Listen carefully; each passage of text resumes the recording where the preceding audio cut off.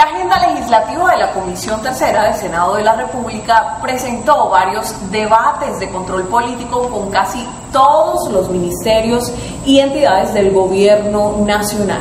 Dentro de los proyectos aprobados más importantes en esta célula está el de pago a plazos justos, que está a punto de convertirse en ley de la República.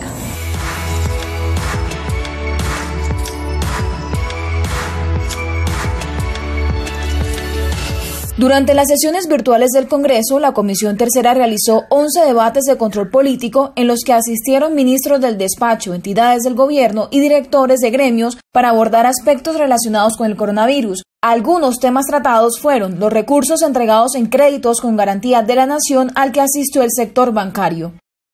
Si la persona se queda sin empleo y deja de cotizar, el fondo de sus ahorros le sigue cobrando la administración. Es una cosa que no puede permitirse.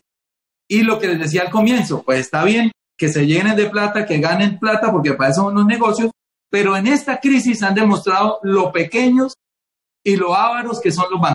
El Banco de la República rindió informes sobre el comportamiento de la economía nacional. Se evaluó la destinación de los recursos al sector salud en las regiones. Con el Ministerio de Educación y el ICETEX se habló sobre la gestión del instituto con sus beneficiarios sí me parece muy grave que 66, 70% de estos egresados que tienen créditos y CETEX no consigan trabajo, porque si es así no pueden pagar la deuda y si no pueden pagar la deuda, pues eh, cierran puertas eh, a, a, las próximas solicitudes. Por último, se estudió también, entre otros temas, las medidas tributarias por la pandemia de parte de la DIAN, el impacto de la caída de los precios del petróleo en Ecopetrol y los efectos económicos en el sector de transporte terrestre intermunicipal y las aerolíneas. ¿Cómo se permite la operación hacia el futuro con estas medidas de bioseguridad? Pues haciendo una compensación, no es regalarle una plata al, al, a la aerolínea, sino más bien a los consumidores. Entre los proyectos de ley aprobados en Comisión Tercera y que pasaron a sanción presidencial se encuentra el que crea la tasa pro deporte y recreación para que sea administrado por los entes territoriales para programas que fomenten el deporte, el que autoriza a la Asamblea de Antioquia para emitir la estampilla pro hospitales públicos del departamento, la iniciativa de saneamiento de predios que busca entregar la titulación de los mismos a quienes los han ocupado de manera ilegal por más de 10 años, y el proyecto de pago a plazos justos que busca proteger la liquidez y el flujo de caja de las MIPIMES.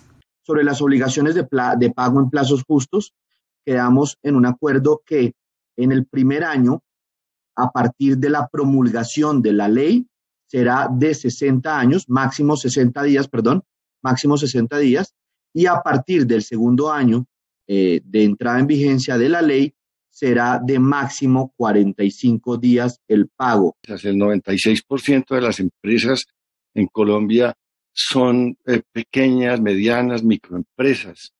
Eh, ahí está el 80% del empleo. En la medida en que estas empresas tengan más liquidez, tengan unas finanzas más claras, predecibles, eh, pues van a poder crecer. Por falta de tiempo, la Comisión Tercera no alcanzó a aprobar el informe de ponencia del proyecto sobre renta básica de emergencia para los hogares en situación de pobreza. La iniciativa será presentada nuevamente en el próximo periodo. En general, entre el 20 de julio de 2019 al 20 de junio de 2020, en esta célula se presentaron 22 proyectos, se aprobaron 18, 5 cumplen su tránsito en el Congreso y 15 pasaron a plenaria de Senado.